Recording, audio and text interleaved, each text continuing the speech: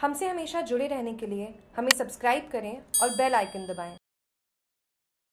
राष्ट्रीय समाज पक्ष के उम्मीदवार चेतराराम देवासी धुम्बड़िया और निर्दलीय उम्मीदवार खीमराज देवासी धुम्बड़िया ने बुधवार को भाजपा में आस्था जताते हुए भीनमाल विधानसभा क्षेत्र से भाजपा उम्मीदवार और विधायक पूरा राम चौधरी के समर्थन नाम वापस लिया इस दौरान उन्होंने राष्ट्र की मजबूती और विकास के लिए भाजपा को जीतने की अपील की। इस अवसर पर भायु यूमो जिला अध्यक्ष हींगलाज दान चारण और भाजपा किसान मोर्चा के जिला महामंत्री पुखराज चौधरी ने दोनों का आभार जताया।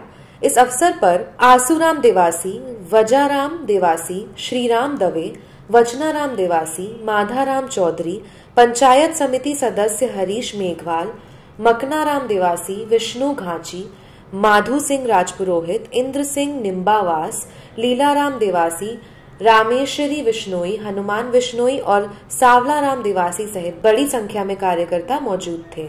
भीनमाल से जागरूक टीवी की रिपोर्ट।